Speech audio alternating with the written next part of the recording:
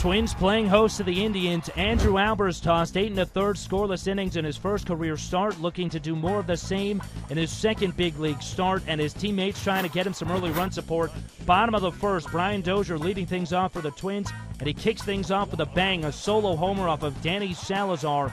Dozier's 12th of the year, and the Twins are on the board first. It's 1 0 Minnesota. Bottom of the second, Oswaldo Arcia hits one up the middle. as Asdrubal Cabrera with a nice sliding stop, the spinning throw over to first, but Arcia is safe, and here's why. Take another look. Great effort by Cabrera, the spinning throw, but it pulls Nick Swisher off the base just for a split second. His foot breaks contact with the base, so Arcia is safe, meaning there is a man on for the next batter, Trevor Plouffe. The 2 1 a swing and a drive, deep left field, all the way back, out of here. Luke with number 11. The Twins hit another home run, 3 0 lead.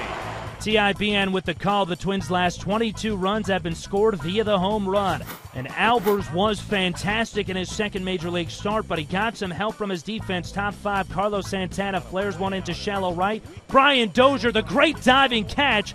Take another look at the long run Dozier had. He started out by second base and it winds up close to the foul line, but still a fantastic diving play. Albers stunned by the catch and he breathes a sigh of relief. More great defense from the Twins in the top of the seventh. Swisher batting and he hits a ground ball up the middle. Pedro Florimon with a nice sliding stop. He throws over to first, and Justin Morneau helps him out with a nice pick. Take another look. Fantastic effort by Florimon, and a nice play by Morneau on the back end. Albers appreciating the help from his defense. Albers still out there in the ninth looking for the shutout with two outs, facing Swisher one more time. And the pitch, bouncing ball left side. Florimon backhands, he sets, he throws, he did it! For Andrew Albers, and the Twins win 3 to nothing.